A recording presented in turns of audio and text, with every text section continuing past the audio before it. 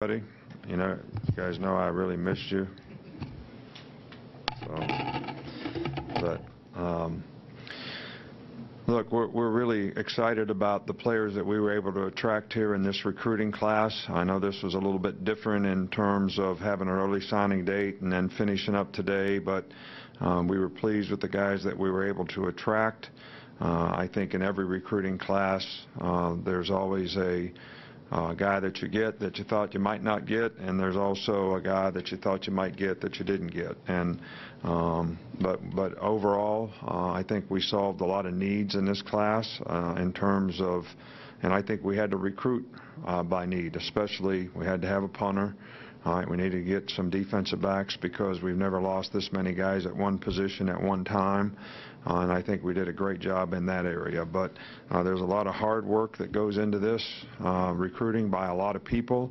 Uh, and we certainly appreciate the team that we have here at Alabama and the great effort that um, they all put in to try to make this um, um, class one that can really complement the players that we have now and, you know, add to the future success of our team. Um, that team starts with our assistant coaches who do a great job of identifying players, establishing relationships with players, putting a lot of time and energy into um, bringing it to fruition where we have an opportunity to uh, sign a guy and get him to commit to coming uh, to Alabama. But the team that we have here, starting with our president, uh, Dr. Bell, our athletic director, Greg Byrne, um, the university community, uh, the professors, the academic staff who spend a lot of time each weekend in helping us recruit, uh, answer a lot of questions about academic circumstances for families is uh, certainly appreciated. John Deaver does a great job on his side of the fence and all the support staff that we have here, whether it's the medical staff, the strength and conditioning coaches, Miss Amy in nutrition, uh, all these people do a fabulous job of uh, answering questions and helping develop relationships with people to make them comfortable because one thing that we do have here is a really strong family of people who work together, uh, who stay together uh, to help our players have a better chance to be successful. So um, we, we, you know, certainly appreciate the atmosphere that our fans create uh, when players visit here for games. Uh, I think the energy, the enthusiasm, the tradition are all things that um, really help us um, be able to continue to uh, attract character quality people who want to get an education, who want to be good people, who uh, want to be the very best that they can as football players. Um, so, you know, as I alluded to before, when you sort of, sometimes it matches up in terms of how you get ranked and rated, and sometimes it doesn't. Uh, but you have to try to solve some of the needs that you have on your team. Uh, I think we were able to do that, you know, in, in this particular class. So, um, you know, I, I, I think especially at DB where we were able to, you know, Patrick Surtain is, you know, probably the, at least he's ranked, you know, as one of the top guys in the country at his position. Um, you know, Saivion Smith is a top junior college guy at his position.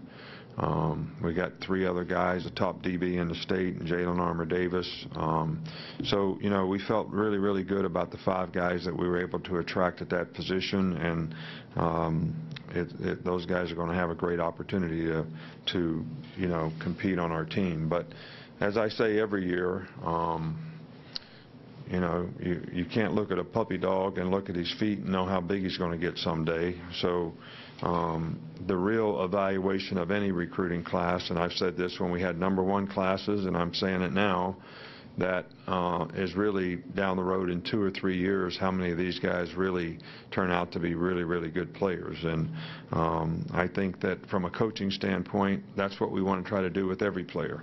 Uh, try to help them uh, develop as players so that they have a chance to be successful here uh, in their career, and we're going to continue to do that with the players that we're able to recruit today. Um, so I really thank everybody uh, out there that their hard work and energy uh, goes into this each and every year. Uh, this recruiting has turned into pretty much a year-round process. Uh, and it's not just about recruiting this class, but it's next year's class and the class after that. Um, so um, the recruiting calendar has changed how we recruit, uh, but the energy that a lot of folks put into this is certainly appreciated, and I'd like to thank everyone for that. Okay, Coach, we'll start in the back with Cecil. Um, Coach, you you mentioned um, in your remarks about relationships, and you you you did have, a- a- I suppose, a relatively large amount of staff turnover late in the process. Uh, Did that affect you at all with with certain prospects, and- and um, how did how did you feel about that as you were out? Well, I don't, I don't think there's any question about the fact that there may be some prospects out there that were being recruited by somebody who left, uh, and maybe that was a little bit of an issue with them, but I do think that the coaches that we hired uh, certainly did a great job of going out there and trying to develop relationships with, um, you know, the players that we were recruiting. So in some cases, maybe it had an effect, uh, but in other cases, I don't think it did. Um, so I can't really answer that emphatically to, to tell you uh, whether it did or didn't. But uh, I think in, in recruiting, especially when you start recruiting guys, um, you know, two years in advance, that when they feel comfortable and develop relationships with people, it certainly uh, can have some effect on, you know, how comfortable they feel with the other folks. Go here in the middle with Michael. Just wondering, how many guys did you expect to sign today, and what did you guys learn about the, uh, the early recruiting cycle and how it impacts the way, the whole flow of things? Well, I think every year is going to be different with the recruiting cycle. I think this year was probably a little different because there were so many coaching changes. Um, So those coaching changes were much more aggressive in the late signing period because they got their staffs together and uh, in some cases created new opportunities for players that, um, but, you know, maybe next year won't be that way. So you could say, well, if you'd have signed more guys early, it would have been better this year, but maybe next year it wouldn't be. Um, But I, I do think that um, it does accelerate the recruiting calendar. I think you have to have more guys visit early. Uh, You got to get on top of people early. Um, If they're going to early sign, you got to identify that and recruit to that timetable. And the guys that are going to you know, stay uh, until the end. Uh, You certainly have to be uh, very conscious of um, doing a good job with those guys as well. So, um, you know, I I- think that we've all kind of grown to understand that, you know, commitments don't really mean a whole bunch in a lot of cases. Uh, So I don't think you can judge things based on that uh, because guys just continue to visit, so they're really not committed. And then when they find something else that they like better, then they're not committed. So um, we we we we don't put a lot of pressure on guys to commit. Um, And we continue to recruit guys whether they are or they aren't. And I think a lot of other people try to manage it the same way. Right side here with Chandler.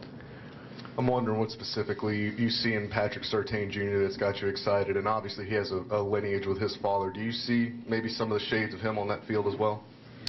Well, his dad was a great player and um, was actually on the Dolphin team when I took the job there and uh, was a free agent and went off, but you know was a great player for many many years. And um, Patrick's a little little longer type guy, um, kind of guy we like here, and um, very instinctive player. Uh, he's got good long speed, uses his length well.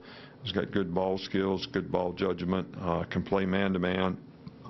Not afraid to get up and, and press people. That's, that's a good style for him, and that's our style here. So um, we're excited about having him in the program and really looking forward to working with him.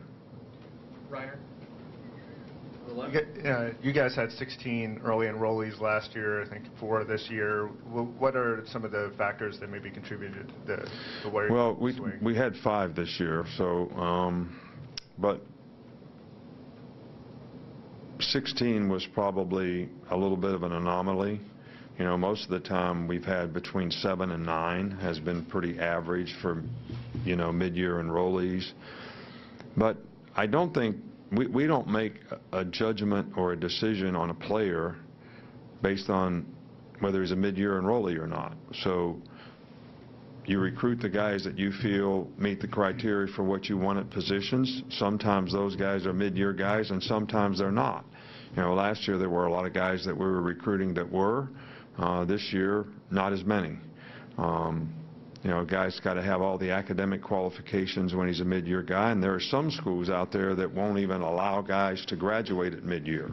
All right, so this is not something that we say, okay, because this guy's a mid-year guy, we want to recruit him so we can get more mid-year guys.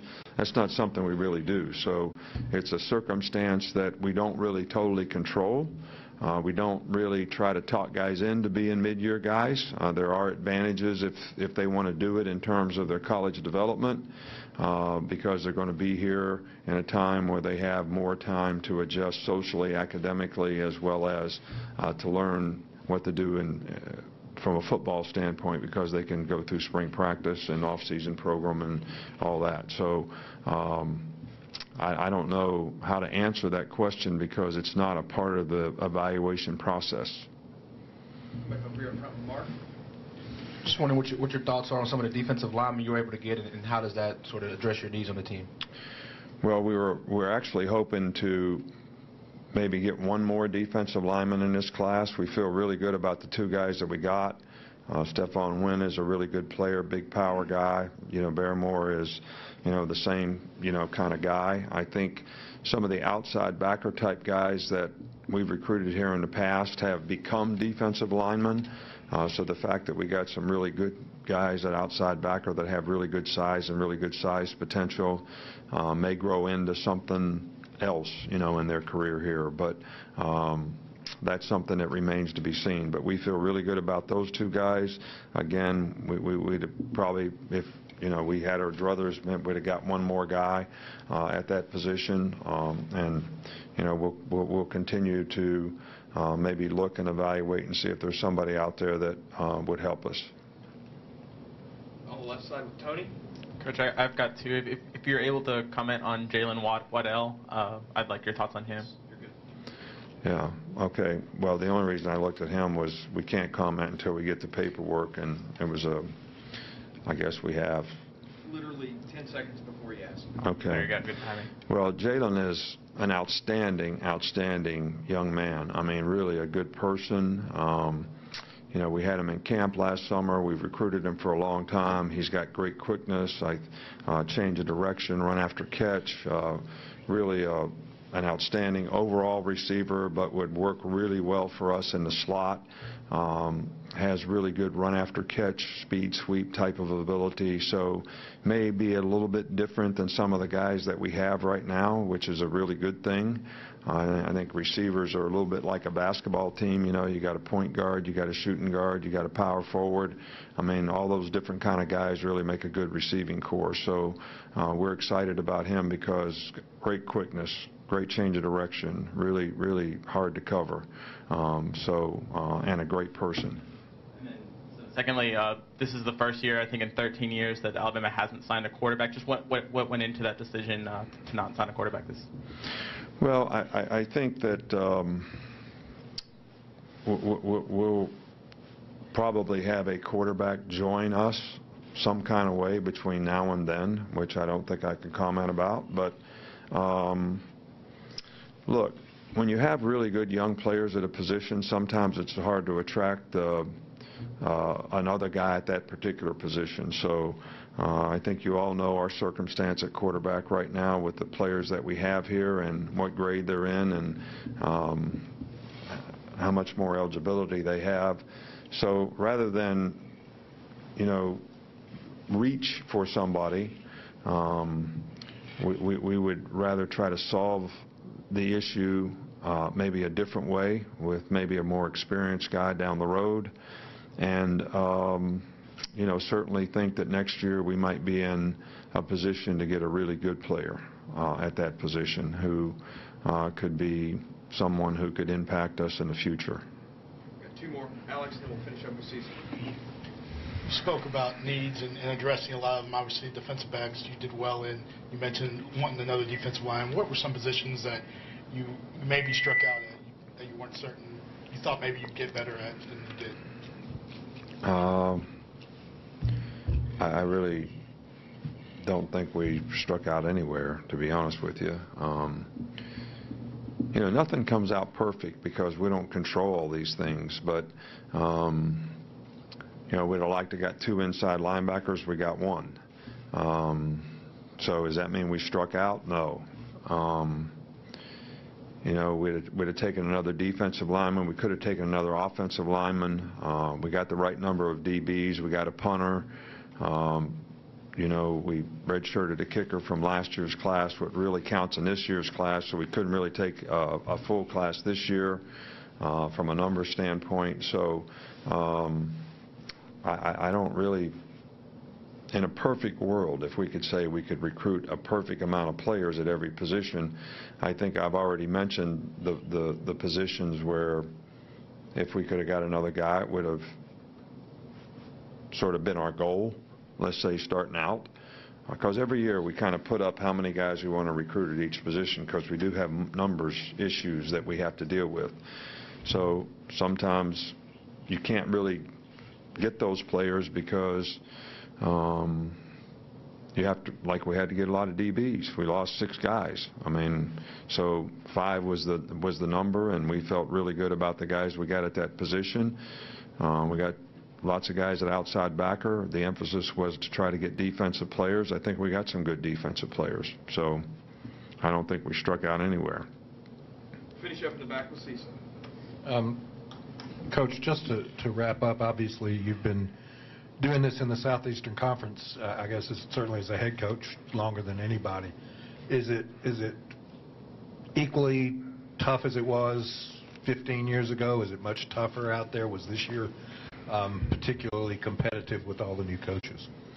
Well, I I think it is very, very competitive. I think um, what's the most competitive thing we do around here is play a game. The next most competitive thing we do around here is recruit players, Uh, and that's the way it is. So, um, and, you know, we won a lot of battles in this recruiting. Um, I think, you know, continuity helps you win battles in recruiting. Relationships help you win battles in recruiting. Um, guys seeing that they have an opportunity to contribute to your team.